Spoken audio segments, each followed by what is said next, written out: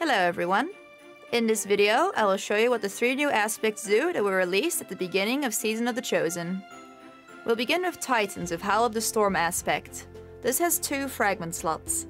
When sliding, Titans can use their melee attack to launch a wave of stasis energy forward, creating crystals that freeze enemies. Next is Hunters of the Grim Harvest aspect. This has two fragment slots. Hunters can create shards that when picked up restore melee energy by defeating frozen or slowed combatants. And finally, there's Warlocks with Bleak Watcher. This has one fragment slot. Warlocks can charge your grenade and throw it on the ground to summon a stasis turret, which shoots projectiles that freeze enemies. This turret is stationary, can shoot targets up to 30 meters away, lasts for 25 seconds, and can be destroyed. On Guardians, it needs to hit multiple shots to freeze, otherwise it will just slow. And that is all for now. I hope this was useful, and I will see you on the next video. Bye bye!